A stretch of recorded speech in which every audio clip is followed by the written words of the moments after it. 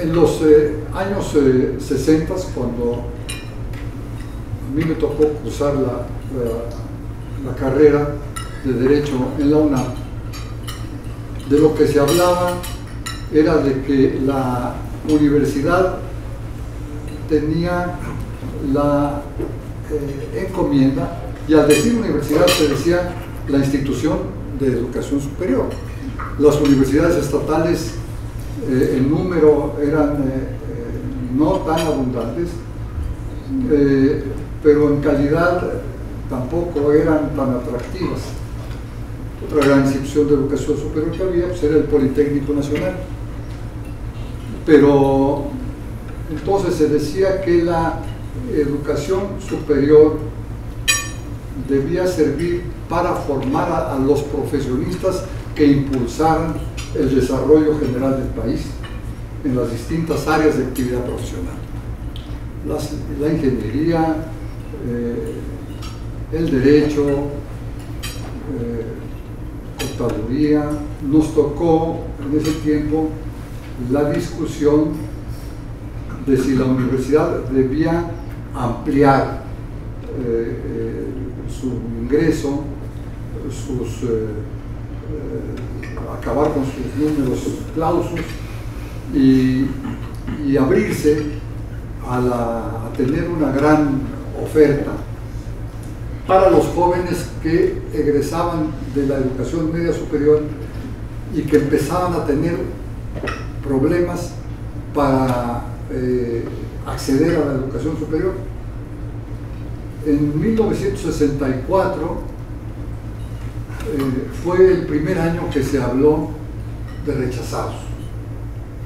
Había eh, una identificación de unos 8.500 alumnos rechazados y esto era ya motivo de, de una preocupación mayor y para los eh,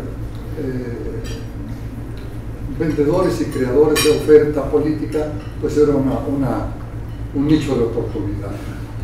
Entonces, el rector entonces, que era el doctor Ignacio Chávez, tenía una posición muy firme, muy clara, de que eh, la universidad no debía crecer.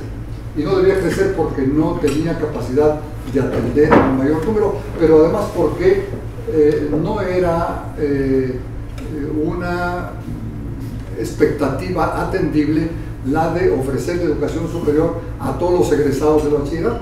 Entonces la medida que tomó el doctor Chávez fue ampliar el bachillerato a tres años. Un año más de bachillerato para que los bachilleres salgan bien preparados. Y entonces empezó a hablar de que lo que era necesario era formar un mayor número de técnicos, que se requería de un determinado número de técnicos en relación a cada profesionista y que el país debía eh, atender de esa manera la formación de los jóvenes y ampliar su capacidad de oferta en esos términos. Entonces eh, vino el cambio de sexenio y el eh, presidente Echeverría empezó a impulsar el crecimiento de las universidades públicas estatales y a